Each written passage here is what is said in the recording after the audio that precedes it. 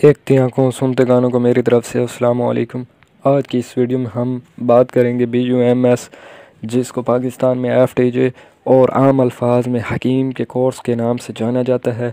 इसके सिलेबस, इसके कितने सब्जेक्ट हैं, साल अवल में इस सब के बारे में बात करेंगे। साल अवल में इसके छः सब्जेक्ट्स हैं, जिनमें तीन के प्रैक्टिकल होते हैं और तीन के प्रैक्टिकल्स नहीं होते। तीन, पहले तीन हिफ्ज़ान सेहत, कुलियात और तशरी तिब। ये सौ सौ नंबर के हैं जिनमें प्रैक्टिकल्स नहीं होते। जबकि मुनाफ़ अज़ा, फ़िज़ियोलॉजी, इल्म दवा, शनासी और तशरी, अनाटमी, इन सब के प्रैक्टिकल होते हैं और ये पचहत्तर नंबर के तहरीरी होती हैं, जबकि पच्चीस नंबर के इनके प्रैक्टिकल होते हैं। अब हम हर एक सब्जेक्ट्स के, सबक्स के बारे में बात करेंगे।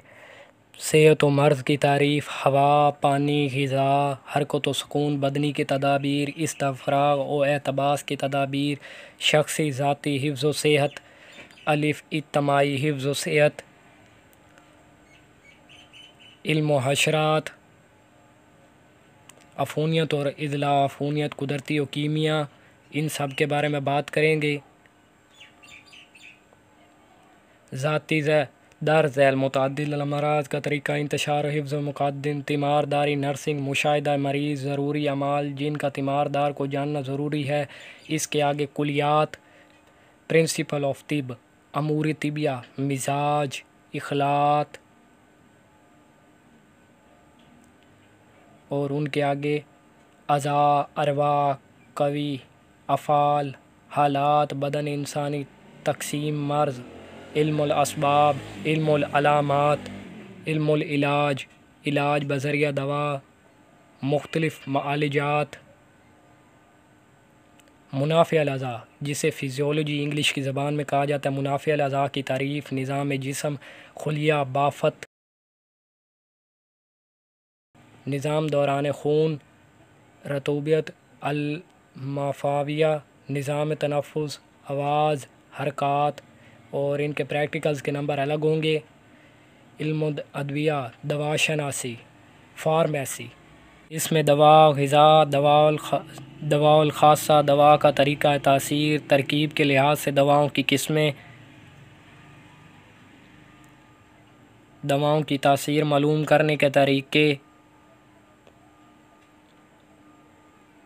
मुदरजा झैल असलाहत अदविया की तशरी।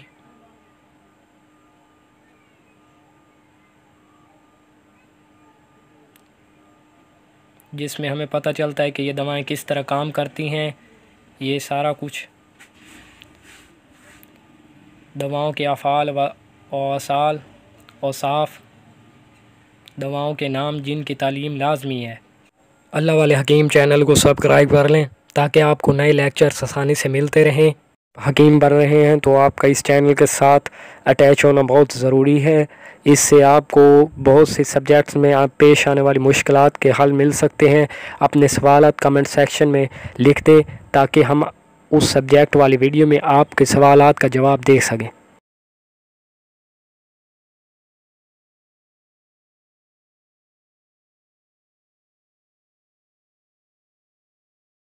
तारीख़ तिब हिस्ट्री ऑफ़ तिब।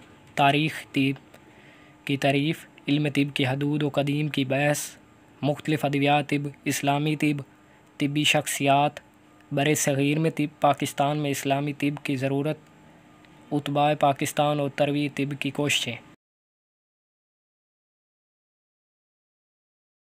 इसके बाद तशरी अनाटमी तशरी की ज़रूरत, तारीफ़, इकसाम तशरी की ज़रूरत असलाह इज़ाम और इकसाम महर फ़करात, सीने की हड्डियाँ जमामजा खोपड़ी, चेहरे की हड्डियाँ, तरफ़ आला, तरफ़ असफल, पेड़ों की हड्डियाँ, पाँव की हड्डियाँ।